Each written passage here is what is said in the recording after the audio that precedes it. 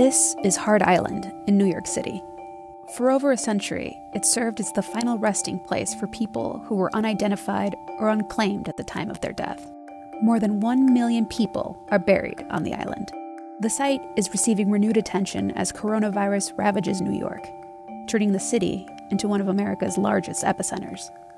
What we have seen is an increase in the number of people passing away overall that there are people who pass away and there is no family member, no loved one, no friend, no one um, who we can find, who our Office of Medical Examiner can find, uh, who has a connection to that person and is going to take responsibility for their burial. City officials have said that unclaimed victims of COVID 19 would be buried on Hart Island, which is located about 11 miles from Manhattan in the Northeast Bronx. Unclaimed simply means that a family did not hire a private funeral director. It doesn't mean that the person was unwanted. It doesn't mean even that the person, that the family was impoverished. It just means that they didn't, for whatever reason, hire a private funeral director. The idea of mass burials graves today is so um, is so problematic because it's so rare. It would have been more common uh, in, in in earlier times. Hart Island is the largest mass grave in the US. At least 1,000 coffins are buried there per year. But data from the Department of Corrections shows how the first three months of 2020 saw much higher burial numbers than the previous five years. From 2019 to 2020 alone, there was a 96% increase in burials for this period. Burials also now take place five days a week instead of one. This system of burials has been in place on Hart Island since 1872, and it has served the city through many epidemics where you have, you know, a scale of death that is uh, unprecedented to that gen- particular generation. In response to this severe uptick in deaths, the New York Medical Examiner's Office changed the waiting period for families to claim the bodies of loved ones from 30 days to 15.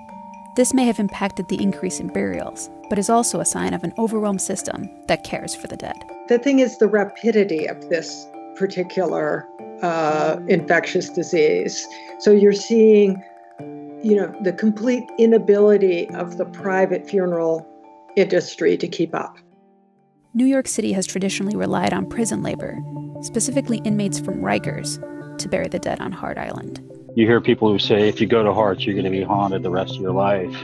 Saxon Palmer was a Rikers inmate for the last four months of 2019 and worked on Hart Island for most of that time. He always tried to bring honor to the people he buried. Most people wouldn't come back the next week.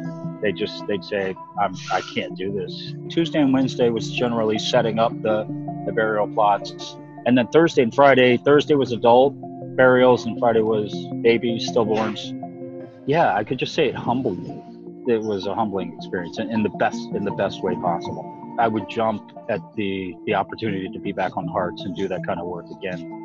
New York State issued a stay-at-home order in late March, closing all non-essential businesses. But Rikers inmates continued to work on Hart Island. Drone video shows inmates dressed in white and orange on one of their last days of work on April 2nd. The city contracted a private landscaping company which took over burials on April 6. A spokesperson for the mayor pointed to a dwindling number of Rikers inmates as the reason for the change. The city also faced public outcry about inmates being exploited for cheap labor during the coronavirus pandemic. As COVID 19 deaths increase in places like New York, Detroit, and other large cities with the potential to become hotspots, officials will have to face how best to handle a rise in burials we need to show people the bodies that we have this real problem here that that this many people are being buried every single day in New York City. Uh, we need help.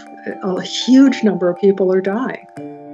The images showing the reality in these cities are disturbing, but for some, burials on Hart Island are the best way to preserve dignity for the deceased. There's always been an effort to maintain the kind of decency and order of burial under normal circumstances, and that we're now more sensitive to maintaining a certain honor in death.